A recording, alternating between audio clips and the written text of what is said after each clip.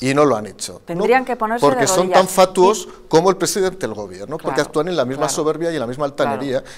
Y luego falta dignidad, porque aquí no se va nadie. Haga lo que haga, no se va nadie. O te echan de mala manera o no se van. A mí me, me parece admirable eh, lo que ocurre en, en otros países de Europa, donde a la mínima En cuanto se van te pillan, ellos. fuera. En cuanto te pillan Claro, en falta, presentan te vas dimisión porque por ya... una cuestión de vergüenza torera. Claro, Sí. porque Recuerdo- un político claro. tiene que eh, tener un comportamiento intachable, absolutamente, y no le pueden sacar ni un muerto del armario.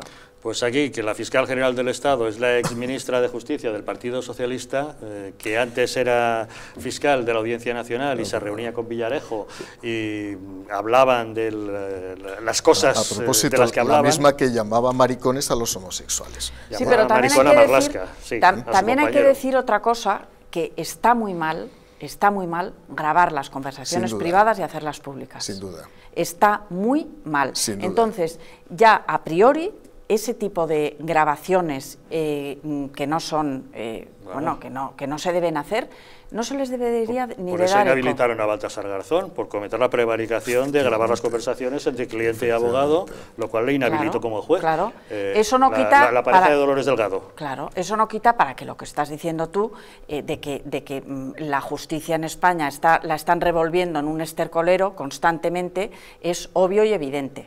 ¿Eh? Eso está claro y que no, no, no, no, se- no- no se puede defender bajo ningún concepto que una persona que ha sido ministra socialista pase a, a renglón seguido a ser la fiscal general del Estado, porque entonces la independencia de la justicia, eh, vamos... Pues ya has visto, con total impunidad.